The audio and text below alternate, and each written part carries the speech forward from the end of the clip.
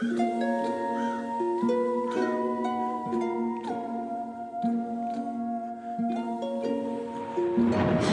again. It's me, your favorite person in the whole wide world, Bailey Sarian.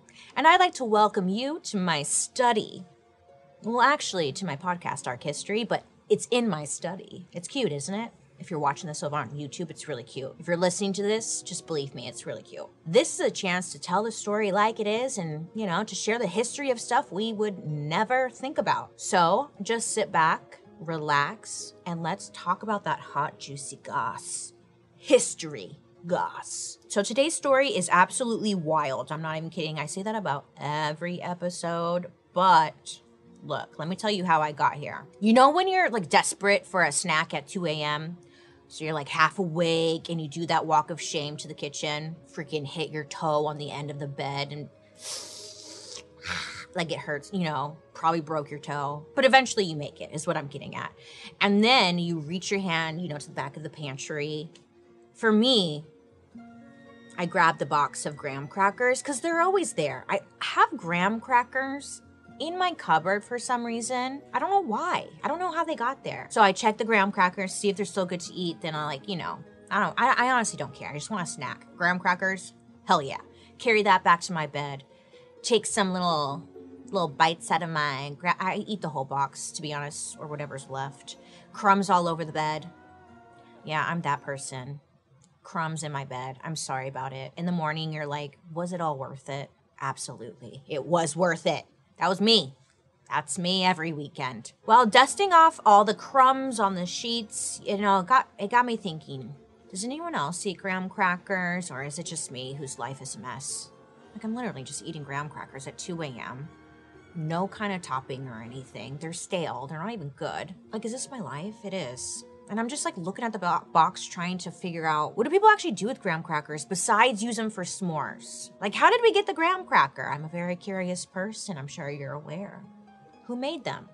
I don't know. Well, I got to Google in. Turns out they're actually named after a man named, drumroll please, Sylvester Graham.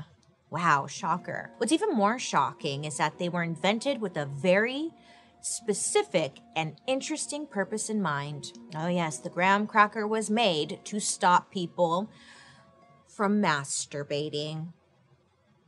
Yep, you heard that correctly. You probably weren't expecting that one, were you? Instead of that, you'd be like, you know, with a graham cracker. So get your hands out of your pants and let's get to know the inventor of the graham cracker, the one, the only, Mr. Sylvester Graham. I have my dark history book open to the graham cracker stops you from masturbating chapter, very specific, but it's in here. And we're to learn about this. You ready? Great, because it's wild. Sylvester Graham was born in Suffield, Connecticut on July 5th, 1794. And compared to everyone else around him, Graham had a pretty sad childhood. Okay. His dad and his brother died when he was just a baby. And then, a few years later, his mother had a mental breakdown and was hauled off to an asylum where she would end up spending the rest of her life. I guess she died in the asylum. They thought she was crazy. I don't know. Couldn't find that much information about it, but sad. So, from an early age, Graham was pretty much all alone. And with no other choice, Graham went to work at his uncle's farm. And it's like, yay, you know, he's got family now. Everything everything's gonna be okay. Of course not. You know, no. You see, Graham had an awful immune system, and he was that kid that was always getting sick. So he spends most of his childhood sick and on a farm. Then, when his teen years roll around, he leaves the farm and moves to New York for school. While there, he works two jobs. So by day, he's working as a paper maker, shout out to Dunder Mifflin. And then by night, he's working at the town tavern.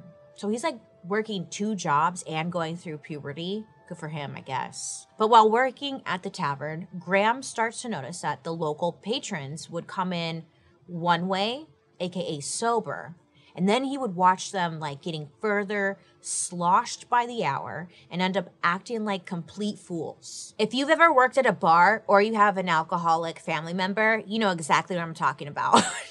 That's mean, but it's the truth because, like, look, I worked as a bartender one time for like a, a small minute because I realized wasn't for me. But you watch people come in, they're sober, they've got manners, they're respectful, and then you just watch them go down. It's wild. It's difficult. It's a hard job. Being around all of that made Graham completely swear off alcohol and drinking in general. Because if it made people act like that, you were never going to catch Graham even like touching the devil's whiskey. And this realization becomes very important to Graham's future. So put that away in like a box for now and then we'll pull it out later. He doesn't like alcohol and he doesn't like drunk people. Noted. But back to Graham. His New York life comes to a halt when he's diagnosed with tuberculosis, which, if you don't know, is an infection that could destroy your lungs. TB came in and like just ruined Graham's life. He had to drop out of school and move back to his uncle's farm to focus on his health. And like he's sick all the time and he hates it and he's wondering like why him? Why why do I have to be the sick one all the time? So 10 long years go by, and Graham starts to see life completely different. This is important to know because Graham's health is literally the foundation for all of what happens. So over time, you know, he's taking care of his health, he's starting to get better, and he decides, hey, I want I want to do what my grandpa and my dad did. I want to follow in the family's footsteps. Graham is like, I'm going to become a preacher just like his father and his grandfather and he goes for it. He gets into one of the best religious schools around. He he's excited. New school, new goal, new Graham. Yay. But at this new school, Graham did not have a good time. He was experiencing the worst bullying. Many of them thought that Graham's beliefs and his interpretation of like the Bible and religion were just a lot. It was a lot. Okay? They thought he was somewhat annoying. Nobody seemed to like Graham, and eventually he left school. Yeah. Seems like every time he gets up, gets an idea, has a passion in life, he gets right kicked back down again. Poor guy. So, being bullied out of school would lead Graham to a full blown nervous breakdown. So, he ends up moving to Rhode Island where he meets his future wife, Sarah, and she nurses him back to health. I mean, he didn't have any family to go to, so this was this was different. It was kind. Somebody was actually wanting to take care of him for the first time. And it would not take long until the two would fall in love. In 1824, Graham's back to feeling like himself again, and the two decide to get married. Honestly, their story's like a cute little rom com that I'd definitely watch. I'd watch it. It's cute. She nurses him back to health. Aww. Once Graham was better, Sarah encouraged her husband to get back out there and try again. She had a little money to her name and she used that towards funding his new purpose in life, which was now being a traveling preacher. Ah, yes. So he begins his journey preaching the word of God. And Graham's timing really couldn't have been better because people seem to be straying further and further away from from God and religion and their values seem to be going out the damn window. I mean, at this time, STDs were spreading in America like wildfire. So Graham felt like maybe he could do the Lord's work. He could save the people from themselves, Jesus. Jesus. And let me tell you, he was kind of onto something. And I know you're probably like, Bailey, I thought the story was about graham crackers. Like, why are you talking about a preacher? Yeah, you're right but I promise it's all gonna make sense. And we'll get to the graham cracker and masturbation. Do you ever feel overwhelmed by the amount of choices that are out there? Whether you're shopping for cereal or toilet paper, there are so many options. It's hard to know what's best for you. When it comes to finding skincare products that actually work, it's even more overwhelming. I've been struggling with some stress breakouts, and I went online to find products that could potentially help, but there were just so many brands and products to choose from. How are you supposed to know what even works? What's good?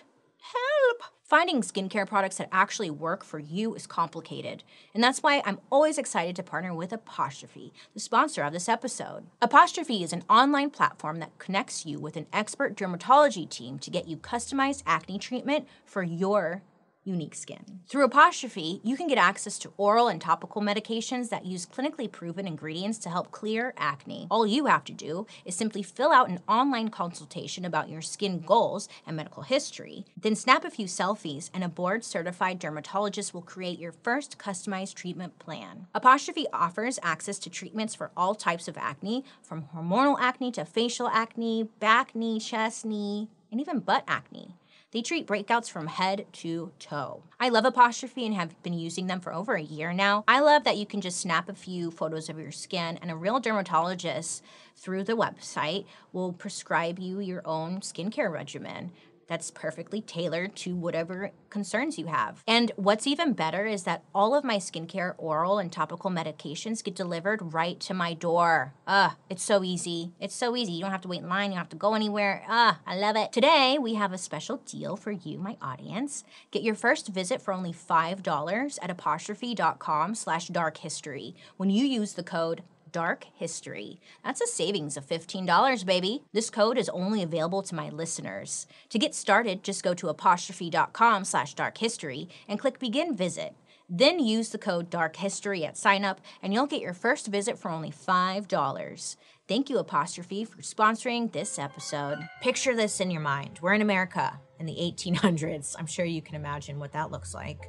But let me tell you, life in the 1800s was no picnic. Oh, no, it was not. Women are wearing all these hot layers of clothes. Ugh, nobody's showering. Things were moist. Uh, real moist. So not only was everyone stinky as hell, but germs. They weren't even invented yet. And like everybody was getting sick. And what I mean by that is that like germs are real, but they the people at this time didn't know that germs was a thing. Doctors haven't put a name to it just yet. So it wasn't invented. You get it. Anyways, at this time, everybody's getting sick because nobody understands the logic of germs. Um, not even doctors understood how germs worked or how they spread. If you were sick with anything, you know, like let's say you had a fever, they would do something called bloodletting. And uh, it's basically exactly what it sounds like. They cut your arm open and let you bleed your infected blood into a bucket. And turns out, surprise, surprise, this method was not very effective. Did not work. Nay, nay. But that's how they would, you know, heal you. That was like the Tylenol, cutting yourself and bleeding into a bucket. America. Now, on one side, you had doctors with their not so great medicine. And then on the other side, you had uh, religious people and their own beliefs and views as to hand, how to handle sicknesses. So they weren't going to the doctor to bleed out, which good since we know it doesn't work. But if they weren't turning to doctors, who were they turning to? God. They were turning to God for help. They believed that the reason behind all this sickness and suffering was a moral thing. Oh, yeah. They thought that all this bad stuff was happening to them because they were being immoral in the eyes of God. And our boy Graham, he freaking loved that shit. This was right up his alley. That's exactly what he believed. So Graham is out there doing his traveling preaching, and his big hook was like, no more alcohol, which was easy because there was actually already a big push at the time to get booze banned. So Graham is on the road, and he's been on the road for a while at this point, telling people not to drink booze. But something just wasn't clicking. And that's when Graham starts preaching that booze was destroying not only people's health and personalities, but their families as well. So Graham started preaching directly to people, especially women. And after all, I mean, they're the ones dealing with their booze bag husbands while trying to run the household. I mean, look at Paul over here. Deadbeat. He does nothing, you know? He just takes all the credit, whatever. And I'm the one over here trying to like do shit. Okay, so this is when people really start to like Graham because he seemed like a normal, everyday guy that you could completely trust.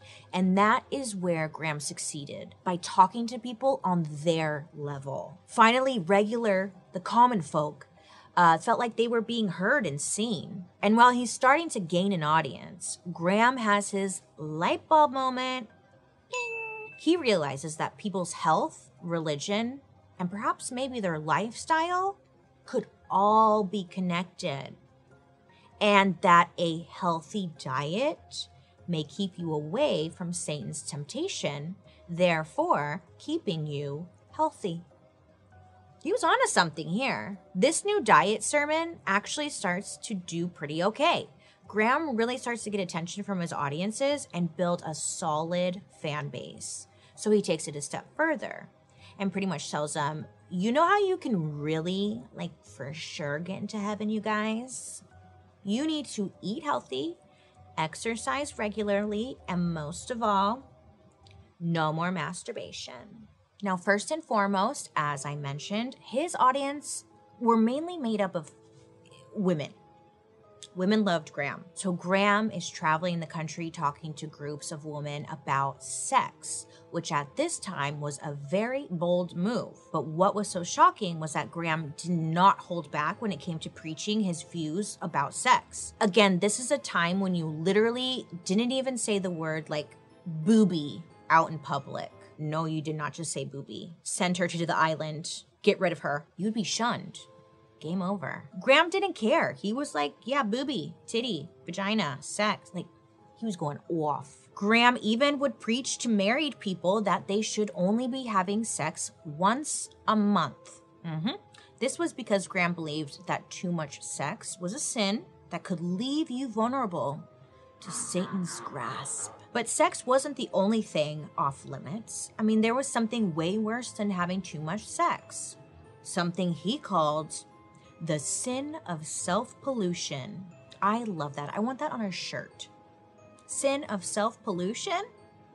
Ah, what a name. What does that even mean? It's what Graham called masturbation. Yeah, the sin of self pollution. Graham knew that the most important thing about masturbation, you can't spell it without you you little sinner, you. Now, Graham's logic behind the anti masturbation crusade was that masturbation caused inflammation within the body, which opened the door for a bunch of other illnesses like heart disease, epilepsy, or even insanity. On top of that, Graham believed this was the most dangerous sin of all because masturbation could happen anywhere, anytime. Like it was some creature lurking in the shadows watching you take off your pants. Take off your pants. You know? If you have a cell phone, you need Casetify. And I've been using Casetify phone cases for years, and I love them so much. If sustainability, protection, and style had a baby, that's Casetify. Their Ultra Impact Crush cases are one of the most protective cases that you can get. Engineered with innovative shock absorption technology, Chi-Tech 2.0, these cases are up to 9.8 feet drop proof. What? I know. I mean, I hope you're never dropping your phone over 9 feet, but you know, if you if you did, Casetify will definitely keep your phone crack free. Every detail is fine tuned for optimal 360 degree protection in ultra slim style. And they have their signature camera ring, which maybe you've seen all over Instagram. It's designed to not just look good, but also protect your precious camera lens. I was thinking about that the other day. I was like, yeah, we kind of forget about the camera lens. Not anymore. And what's even better, their cases are super eco friendly. Their crush cases are actually made from 65% recycled and plant based materials. Also, their crush cases are partially old phone cases that have been shredded and repurposed. We love to see it. If that's not enough, they have tons and tons of designs to choose from. And if you still are like, mm, no, well, you can always design your own customized phone case to make it totally yours. I mean, I'm telling you, the options are endless. It's a perfect gift for yourself or even for a friend. Go to casetify.com and use the code 15darkhistory to get 15% off your order. That's code 15darkhistory to get 15% off your order. Or, to make it even easier, click the link in our description. Casetify has the most protective and environmentally friendly phone cases the internet has to offer. You didn't touch yourself while we were gone, did you? Good. A plus. Remember, Jesus is always watching. So Graham was telling people to stop whacking their willies and he had to have a good solution, right? You bet your titties he did. Ladies and gentlemen, the moment you've been waiting so patiently for, please welcome to the stage. You know her, you love her, the Graham Cracker. I get lonely in here. I just want like stuff, like friends, like a graham cracker who comes, like becomes a person and comes and sits with me. I'm going crazy in this room, you guys. Now, to be fair, it was technically called the graham bread before. Um, but it's technically what we know it as a graham cracker. So I'm just gonna call it a graham cracker, okay? You get it. But it's it's technically called graham bread. Okay, so get to the point. How in the hell is it supposed to stop me from masturbating? Graham, tell me about it. Well, Graham believed that only the purest of people can live a healthy, moral life and also go straight to heaven. Ah. He also believed that you are what you eat, which very true. So in order to be pure, Graham thought you had to eat pure. Pure wholesome fibers mean a pure wholesome human and a one-way ticket to the pearly white gates. And an easy way to control pure eating was to make a simple, clean food. And that's exactly what the OG graham crackers were. Graham's actual crackers were basically cardboard. Yeah, they were made with two ingredients. Can't fuck that one up. Graham's signature triple washed flour and water. Yum. So delicious. Thank you, Graham. This cracker perfectly represented all his strict views on religion, alcohol, and disease. It was bland, it was tasteless, it was two ingredients, him and God. You know, these are purposely designed to not be tasty, and there was a reason for that. The OG graham cracker was plain and free of seasoning, fat, flavor, or anything that might be considered indulgent. Back then, people were mostly eating lots of heavy, indulgent foods like meat, cheese, cakes, and booze. sign me up, you know? And nobody at this time was making the connection between what you ate and how it may be connected to your overall health, except for Graham. Now, he was taking it a little extreme, but he was also watching all these people eat crazy heavy foods and go off and be super immoral. If you felt like shit one day, nobody made the connection that maybe all that beer and cake you consumed wasn't great for the body. You mean I can't make it up the steps without getting winded because of all the butter I eat? That makes no sense. What does butter have to do with how I feel? Like, people are just confused. They don't understand. So, what I'm getting at is at this time, people are treating their bodies terribly, just like you on a Monday night. Don't lie. Linda, don't lie. And don't even get me started on what people were drinking, because clean drinking water at this time, mm, hard to find. During this time, there wasn't much of a sewage system in place, and it was even worse if you didn't live in the cities. So the drinking water may have come with a little side of feces, if you know what I'm saying. So most didn't care to drink the water because uh, it wasn't fully safe, which then led many people to reach for alcohol instead. Why? Because it was the only beverage that didn't have shit in it. Literally, no wonder everyone was a raging alcoholic. I mean, they were drinking alcohol in place of water. How did they function? It seems like everybody was just really drunk. How come we're not doing that now? Can we go back to that? Cake and alcohol, actually? Can we do that? Let me know. But there's something worse than all the drunken Chads, Brads, and Dads plaguing America in the 1830s. A disease is lurking in the shadows, and it's called cholera. Oh, yes, baby, cholera comes to town, and the people are scared. It's a deadly disease spread by contaminated water, so I bet you can guess where maybe this is going the sewage system that I just brought up. It's spreading big time because of the poor sewage system. Mm-hmm. But this ends up being a blessing in disguise for our old pal Graham and his crackers because people started to notice that anyone who was following Graham's program and like eating his bland crackers, they didn't seem to be getting cholera. In fact, they seemed to be doing like pretty well while everyone's getting sick around them. This was because in Graham's program, he preached that water was the only drink that God had made for man. So he suggested that the people should filter it and drink a lot of it. So you're probably thinking, well, how the hell were people filtering water in the 1800s?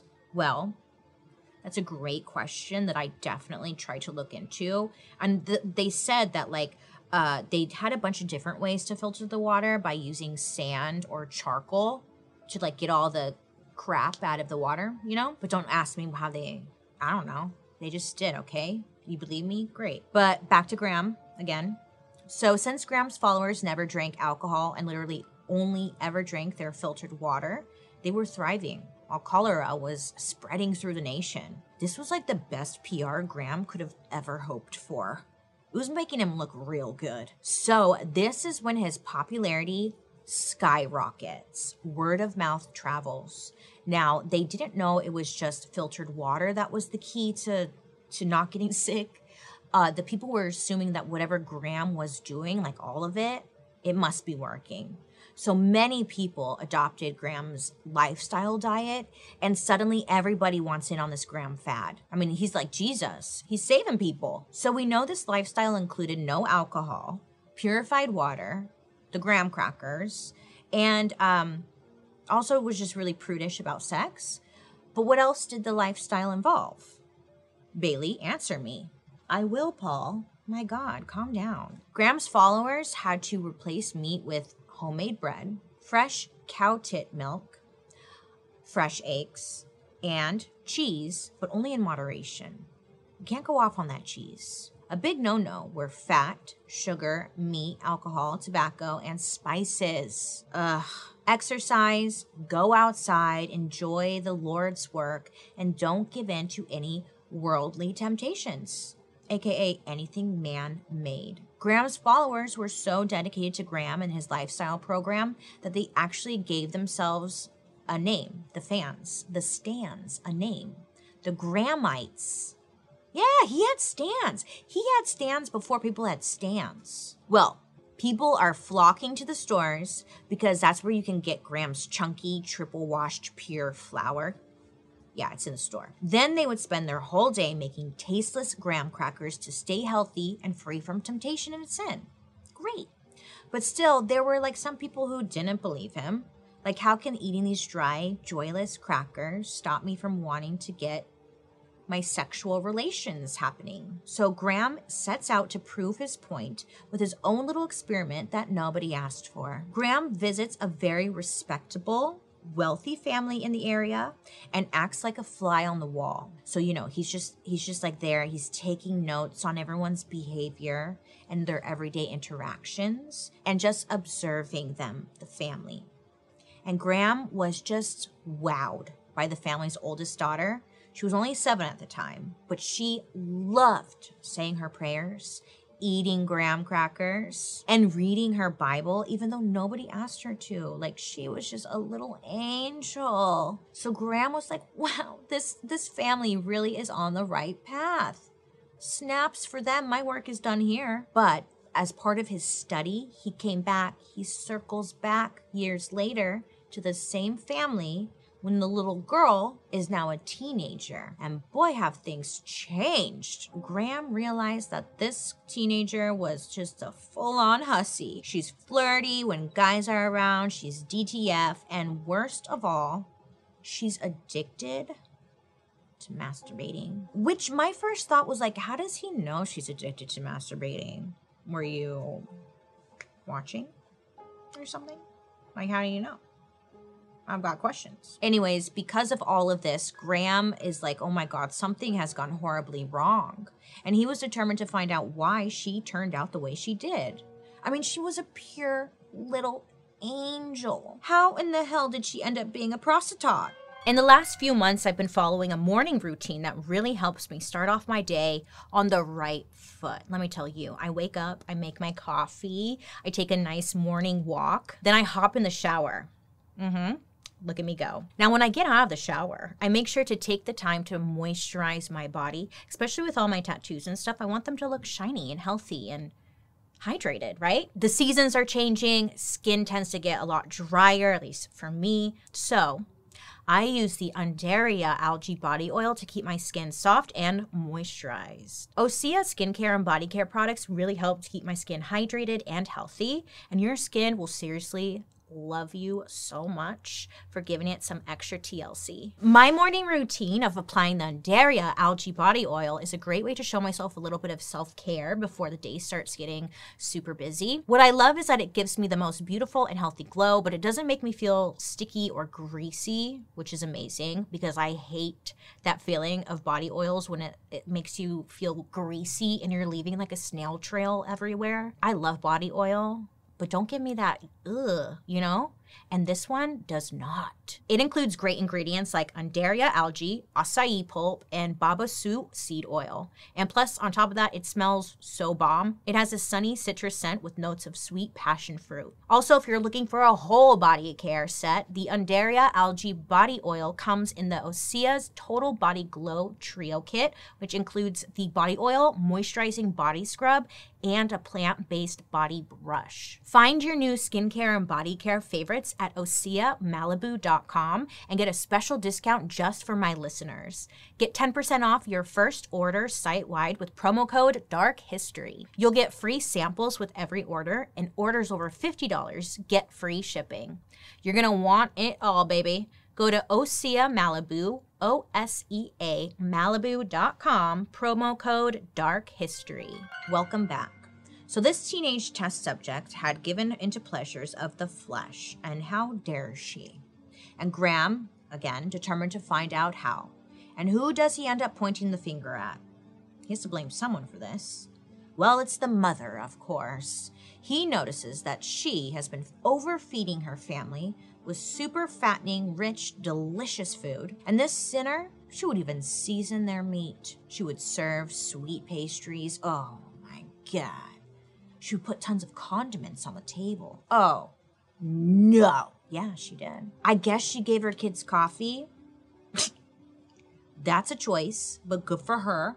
And she even gave um, the teenage girl a glass of wine every so often. Because as long as it's under her roof, she's okay with it. She's that mom, the cool mom. Not like a regular mom, I'm a cool mom. In Graham's eyes, the mom had completely tainted her once perfect child with all these indulgent pleasures. She turned her daughter into a little pleasure seeking gremlin, leading her down a road filled with lust and gluttony straight into Satan's open arms.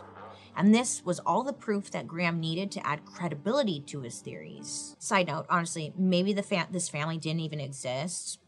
You know, that was kind of like, mm, maybe this was just a story he made up, but we don't know. He could have totally made up this whole thing to help him prove his point. But all that matters is that he had this story and ran with it. So Graham starts to put more of the responsibility on the parents to do their part within the family household. And if they questioned his ideas, they he Graham would like point to the Test family. Like, well, look at what happened to her. She has a tramp stamp now. Do you want your child to end up like that? I didn't think so, Barbara. So get that ketchup off the table. And this is when it seems to get a little extreme to say the least. Parents were encouraged to ambush their kids' room at night and try and catch them masturbating. yeah, awkward. Awkward for everyone, I'm sure. My God, how embarrassing. Like, oh my God, mom. Come on, perv. What, what, what is this about? But the thinking behind it was that if they caught their child with their pants down, then they could fix it. They could fix the problem. And you had to catch them when they're young to get rid of this bad habit. If one of the parents did actually catch their children masturbating, doctors told the parents that they could cure their sick, air quotes here, sick children simply by burning their clitoris or even circumcising the penis. Just a straight up DIY situation from your loving parents. Yeah, they did that. Yeah, they sure did. So not only is there a lot of shame around masturbation in society, now people are straight up scared to do it. But people's urges don't just go away. I mean, we're human. We have hormones. They rage, you know? But Graham was waiting in the wings with his bland, boring, not at all tempting in any way, graham crackers. If for any reason you or your beloved one are feeling some tingles in the lower region, don't be a whacker. Just grab a cracker. That's a good one. So at this point, people are like, fine, I'll eat this damn graham cracker if it'll make my boner go away. And honestly, maybe it worked. We don't really know. The logic here is if you're horny and you eat a graham cracker, um, you'll just you won't be horny anymore because that graham cracker was so awful. I mean, when was the last time you ate like something that tasted like cardboard and it turned you on? It kind of makes sense. I get it. I don't agree with it, but I get it. The logic, kind of. So after preaching about his lifestyle and and his cracker for so long, Graham was fully having a moment. The impact of his popularity after cholera and the family experiment meant that the graham cracker was suddenly everywhere. Everybody wanted a piece of it. And Graham actually was very passionate about sharing his idea with the people. After all, he's he was one of them. He was a man he was a man of the people. And to show the people that he never wanted to charge or make any profit from his recipe or lifestyle suggestions. But Graham did find another way to cash in on his success. In 1834, Graham decided to go on a book tour where he could hold seminars and sermons and give speeches all across America talking about the benefits of making your food at home and not relying on all the man made conveniences coming onto the scene. Graham is making a bit more than just money on this tour because this is when Graham strokes his ego and gets a little promotion. A self promotion. So the Grahamites, the stands, start calling him a prophet, and they truly believe that Graham was here to do God's work. I mean, when you go back to his childhood, he was sick all the time, and everything he cared about, it just didn't pan out. So it got to the point where he truly felt like this was why he went through all that suffering and sickness for the benefit of the greater good. He's God's gift to America. This is what he believes. Don't come for me. This is what he's like. Yeah, it's me. I am a prophet. Uh. The Grahamites at this point had expanded, and they're growing and spreading as fast as the herpes on the town hussy. They're reading his books, saying their prayers, eating his crackers. It low sounds culty, right? Manson vibes. Kinda. Things are going well for Graham. Everyone's listening to him and eating his crackers. He's feeling like a celebrity. But this isn't our first rodeo, and we know as people start to get more money and more power, that's when things take a little bit of a turn, a sharp left, as I say. We've all heard of gut instinct, but have you ever heard of butt instinct? It's when your butt tells you that you need new undies. Listen to your butt. Luckily, I work with MeUndies, makers of the most soft, buttery, sustainable undies, bralettes, and socks that exist. Make your booty and that pussy and those balls, everything, happy with items designed to make your life more comfortable. Let your skin sing a song of joy with undies, socks, and bralettes that feel as if they're spun from silken clouds. They are guaranteed to be the softest stuff you've ever felt in your life. Their signature micromodal fabric is sustainable, breathable, and super stretchy. I love that. They're also available in sizes extra small to 4XL and have new colors and prints dropping weekly. So there's always something exciting to check out. You can even try their free to join membership for free shipping on every order and exclusive perks, like an item shipped to your door every month, secret sales, and early access to their newest stuff. Keep that pussy happy. I love MeUndies because they have, oh my gosh, they have every style of underwear you can imagine. No matter what type of cut you like, there's always something for you. My personal favorite is their Feel Free line. Super buttery soft and also have a feather light waistband. And the prints are so cute. I have a bunch of their solid colored undies, but you know, prints, fun little options to spice it up, live a little. MeUndies has a great offer for you, my listeners. For any first-time purchasers, you get 20% off plus free shipping and returns. To get 20% off your first order, free shipping, and a 100% satisfaction guarantee, go to MeUndies.com slash dark history. That's MeUndies.com slash dark history. Okay, come on this journey with me for a moment. Picture it stuffy, religious mid 1800s America. You take your seat in like a fancy new theater that was just built.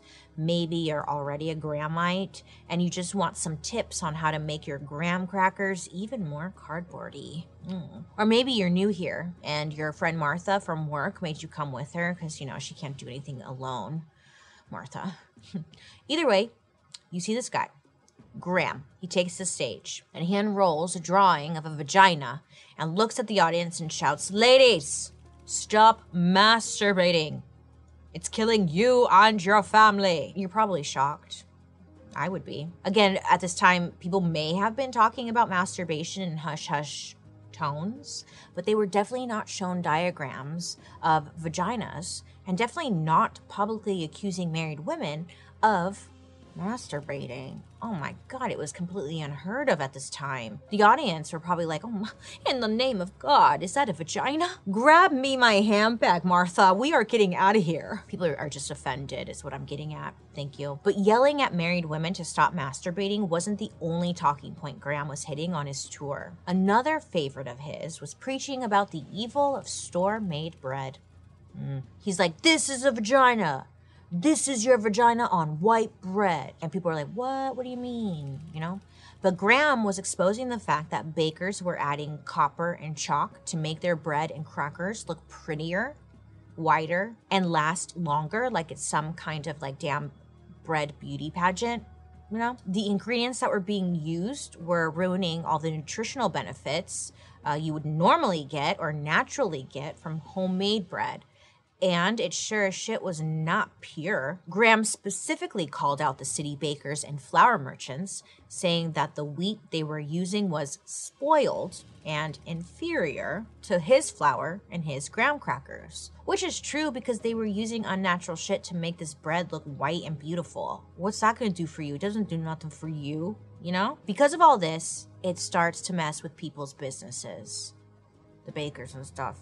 Graham's preaching had gone from a little lifestyle change to now like going after big bread businesses. People stopped eating bakery bread and started distrusting their bakers. Ooh, fighting. Side note, turns out they still put copper in bread. I looked it up. I don't know. Are you allowed to eat this? Is that a good? Let me know.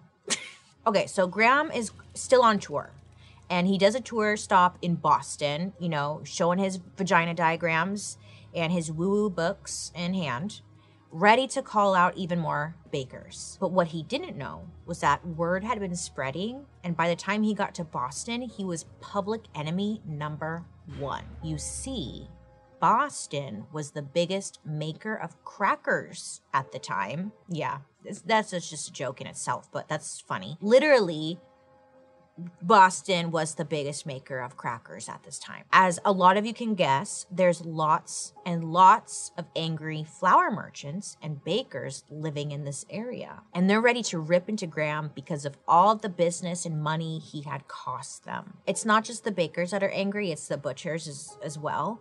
Uh, because Graham is very anti meat and he had not been shy about preaching that as well. I mean, he's messing with the wrong people. You know, butchers, they butch for a living with knives and stuff. And like the bakers, they use equipment.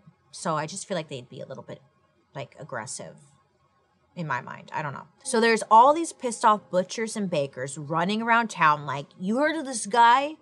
Graham? I know him. Like he screwed me over. And then the other guy's like, yeah, he screwed me over too. I hate Graham. And everyone's just like realizing we got all this in common. We hate Graham. We should work together and take him down. And that's what they were going to try to do. This gang of butchers and bakers marched right down to the hotel where Graham was staying, and they're ready to seek out revenge for the bread lost. Bread meaning money.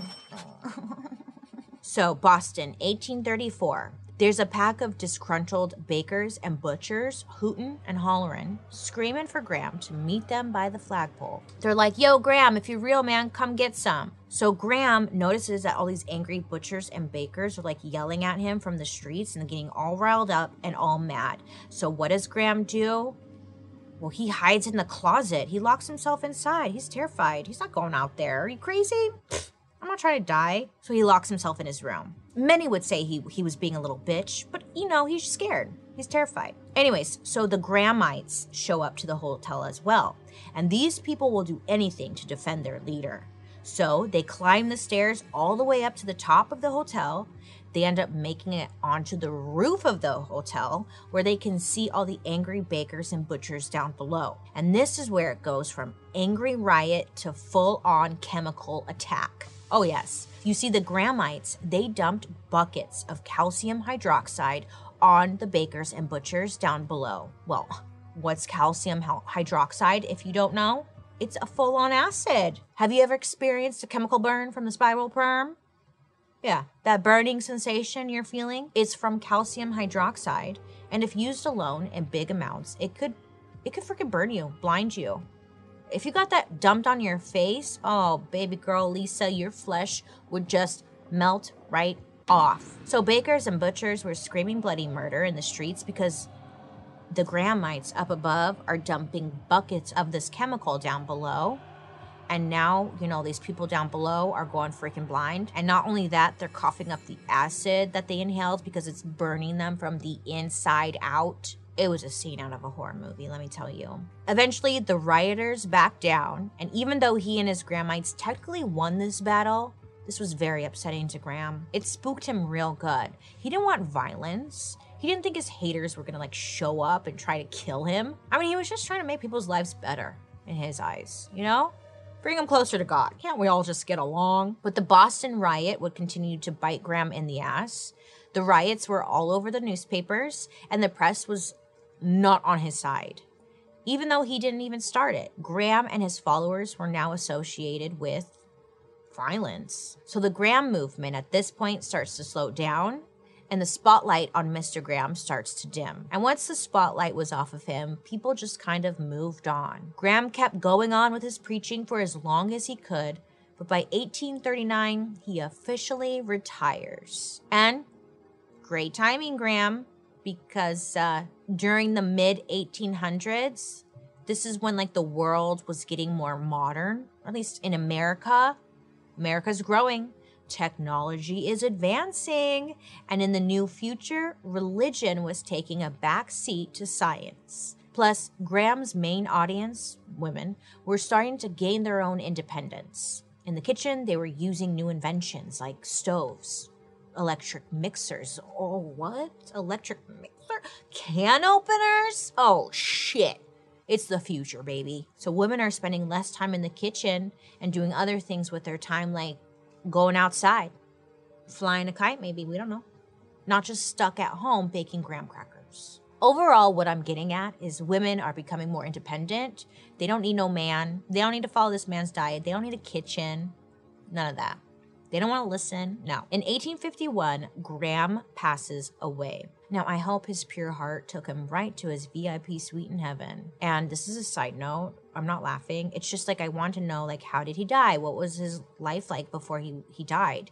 And there's literally not that much information out there at all. It's just kind of like he just I don't know, he just dies one day. But um rumor has it that Sylvester Graham his cause of death opium enema opium enema. Yeah, I don't know if he was shooting opium up the butt or what. I don't know, but you know, good for him. What a way to go. Sounds like a party in your ass. I want in. You're probably wondering, well, okay, Bailey, like this story has so many layers to it and so much information. I thought we were talking about graham crackers, right? What happened to the graham cracker? How did it go from being gross, blah, anti masturbation bread to basically a delicious treat at 2 a.m. in the morning with crumbs all over my bed. Well, I don't think this is the best part of the story, but like this is pet tea. Because remember those Boston bakers that Graham's followers dumped acid on? Well, plot fucking twist. They banded together and continued to have each other's backs for years. And eventually, they formed one big company. Oh, you may know this company. It's the National Biscuit Company. Or maybe as you know them today, Nabisco. yeah! Whoops, shouldn't have burned those guys' faces off because they got together. Coming for you, Graham. You. Years later, they roll out a certain sugary, cinnamony, rectangular cookie that looks a lot like Graham's famous crackers. Huh, but the difference? They taste way better. Oh, yeah, they're everything Graham preached against. Indulgent. Mmm, crispy, crunchy, delicious. Uh. And if that wasn't a big enough slap in the face, Nabisco went ahead and named this new delicious cracker the graham cracker. Yeah, that's right. Graham's name. Graham's name makes Nabisco a ton of money. They even ran advertisements where they shit on the original graham cracker, calling it so tasteless and uninviting that it almost required a prescription. What they're doing is they're trying to slander Graham's name. They're just like trying to drag him through the mud, and that's how you did it. Tasteless and uninviting. Ugh, it almost requires a prescription. Those are fighting words back then. This new Nabisco graham cracker was everything Graham hated. Nabisco is the kind of petty queen that, honestly, kind of love to see it, but uh, you know, it's kind of funny, but not really but kind of. I don't really know. I just know I like graham crackers. They are dedicated to the petty because they still sell this version of the graham cracker, which is the one we know today. The story was wild. And honestly, a little all over the place, especially since this is all about the graham cracker. And there's so much we had to leave out of this story just because it's insane, you guys. I could do a four part series on this whole graham guy and just everything because he essentially started this diet that we still kind of follow today. Not necessarily the like masturbation and all that, but like clean eating, drinking water, going outside, exercising, good sleep. Like all the basics is exactly what Graham believed as well plus the religious side of things. So it's like he's kind of the guy that started it all. Isn't it weird? It's like this one guy who's kind of weird. We uh we took it and ran with it. But I'm just dying to know who you thought had the wildest backstory. Popcorn or graham crackers? Let me know down below. Look, ultimately, Graham wanted us to take care of ourselves so we could live happy, healthy lives and go to heaven. And look, he was right about a few things filtered water is definitely better for you than shit water. It literally saved the Grahamites' lives from cholera. And if you're thinking, how did anyone fall for all of that Graham stuff? Well, just think of all the stupid food things you've believed before. For me, in middle school, my everyone thought that green Skittles made your boobs bigger, and the orange ones made you horny. We believe that, you know. I don't know about you guys if you had something like that in school, let me know. But I think the big takeaway here is that we assume food is created to be like tasty, nutritious, and simply just food when like so much of it is designed to taste like cardboard and like stop you from it always has some kind of other meaning. I've been going down so many food rabbit holes. I think this whole season might just be about food. I would actually love that, but I'm not going to do that. But I would love that. Eat your Skittles, let your boobs grow. Um, eat other healthy stuff. And if you feel like it, maybe masturbate. Because if it makes you happy, it can't be that bad. You know, if it makes you happy, can't be that bad. I hope I win a Grammy. And look, to be honest, after this episode, I never want to see a graham cracker ever again because I don't even care if it's a s'more. And that says a lot because I love a s'more. There's just so much about Graham. Oh man, so many layers to this man. It, I'm exhausted of this man. In conclusion, the next time I masturbate, Graham, I'm gonna be thinking about you, baby. Well, everyone, thank you for learning with me today. I hope you learned something new. You'll never look at a graham cracker the same, right? You'll be like, this used to stop people from masturbating. And that's a fun story to tell your friends, isn't it? Come on, we need conversation to talk about these days. This is a good one. Remember, don't be afraid to ask questions to get the whole story because you and we all deserve that. I'd love to hear your guys' reaction to this story. So over on social media, make sure to use the hashtag dark history so I can I could see what you guys are talking about. I come and look. I see you. I see you. Join me over on my YouTube where you can watch these episodes on Thursday after the podcast airs. And while you're there, don't forget to check out my murder, mystery, and makeup. I hope you have a wonderful day today. You make good choices and you keep your hands out of your pants. I'll be talking to you next week. Goodbye. This podcast is executive produced by me, Bailey Sarian, Kimberly Jacobs, Dunya McNeely from Three Arts, Kevin Grush, and Claire Turner. Big thank you to the writers, Allison Filobos, Joey Scavuzzo, Katie Burris, and me, Bailey Sarian. Hi. Shot and edited by Tafadzwa Nemarundwe and Lily Young. Research provided by Ashley Spurgeon. A big thank you to our expert, Adam Spritzton, PhD. Oh, and I'm last. I'm your host, Bailey Sarian. Why am I last on the list of my show? You would think I'd be at the top, right, Paul? Oh, Joan, Joan, hey girl. You still got the vibrator? What is that? That's a s'more? Looks like a vibrator. It's on a stick.